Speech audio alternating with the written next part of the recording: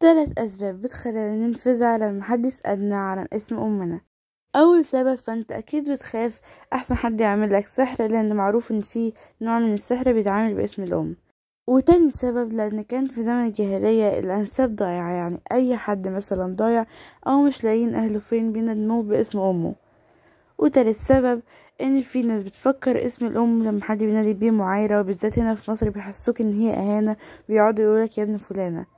وبس كده فعليا لونك المفضل إيه؟ وبالسلام.